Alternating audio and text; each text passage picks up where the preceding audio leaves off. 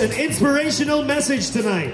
Let's all welcome the class of 1992 valedictorian, Cecilia Belda. Good evening! Excited pa kayo? Excited ako ha. I came all the way from Jakarta, from ASEAN Secretariat, for all of you. So, Sir, Madam, distinguished guests, Congressman Luis Campos, Vice Mayor Monique Lagdameo, ladies and gentlemen, um, beloved teachers, good evening. So, nung una kong matanggap yung imbitasyon sa akin para magsalita ngayong gabi, naisip ko, ano ba pwede kong i-share sa inyo tungkol sa childhood and high school memories, graduating as valedictorian in high school, challenges and success in adulthood, and casting a vision for the future. So, naisip ko ngayong gabi, gusto ko kayong tulungan magkaroon ng kasagutan sa ilang mga katanungan na maaaring meron kayo tungkol sa buhay. So, related dito sa theme natin, a past to remember, a present to celebrate, and a future to generate. Ready na ba kayong makinig? Pinaghandaan ko to. a past to remember. So, how do you remember the past? I am a Christian, so I would be sharing with you my Christian faith. The Bible states clearly how to treat the past. Alam niyo ba kung paano? Hindi? Okay, ito yun eh. So while remembering, habang inaalala ang nakaraan, whether good or bad memories, we should remember, it says in Isaiah 43 verses 17-18, basahin ko lang ha, or 18-19, Forget the former things, do not dwell on the past. See, I am doing a new thing. Now it springs up. Do you not perceive it?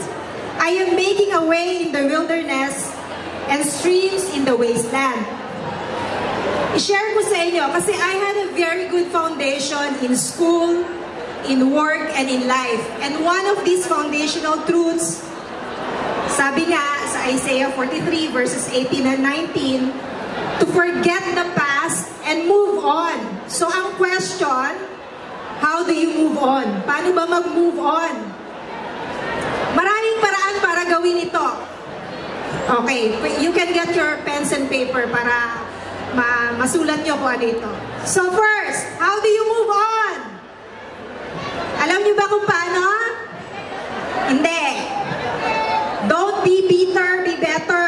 So yan ang unang rule. First, you have to get wise counsel. Second, you have to get wise insights and advice from people you love and respect. You have to pray for wisdom on moving on. Fourth, you have to read books about successful people. Or you have to attend seminars about healing. Yan. So maraming paraan para gawin. Pero ang importante is just do it. Move on. It is life-changing and one that can give you joy in life even when you go through trials. Nagets niyo ba? Yes? Yes. Tested yan kasi in-apply ko na yan. Ha? So, gawin nyo rin. Kasi, when you do this, when you move on, you will be rewarded in ways that you cannot imagine, which is higher than you've ever asked for or ever dreamed of. So just be productive and functional. Huwag mag-aksaya ng panahon sa drama. Basta mag-move on lang. Kasi importante yon, okay? So that's the way, a past to remember, okay? Nagets? Nagets pa ng lahat? Ulitin to ba? Na, wala ng oras. Okay. A present to celebrate. Makinig! A present to celebrate. How do you celebrate the present? The fact that we are alive today is a cause for celebration. Yeah? So there's a beautiful verse in Psalm 65. Sign ko lang. Verses 3, 7 and 11, when we were overwhelmed by sins, you forgave our transgressions. You stilled the roaring of the seas, the roaring of their waves, and the turmoil of the nations. You crowned the year with your bounty, and your carts overflow with abundance. Gusto niyo ba ng overflowing abundance? Yes? Yes, of course. Siyempre, no? So, sa akin, i-share ko lang uh, how did this apply to me, these verses. So, dahil nag-move on, nagkaroon ako actually ng health scare two years ago. It was a wake-up call for me while in between flights from Manila to Jakarta Christchurch, New Zealand. I had a health scare. That was a wake-up call for me. So, naisip ko, I have to focus on my health journey in my 40s. Yan, alam niyo na edad ko. So, that was two years ago when I had a health scare. Nag-move on, nag-focus sa health journey. And then, was rewarded at the end of the year with bounty and abundance. Kaya nyo rin gawin to. Paano? You have to focus on your health because this is the life that God wants for you to have. Yeah? So, teka, may nagsisignal dito. Dapat ba doon ako?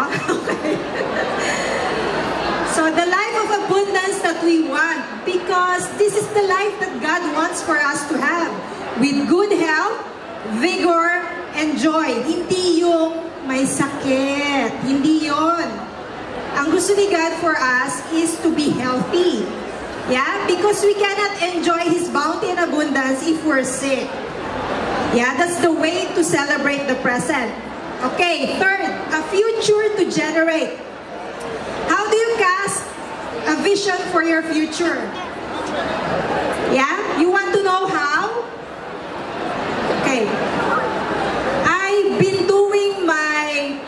faith goals for nine years now. And in development management, this is like planning for results or writing strategic goals, objectives, and indicators.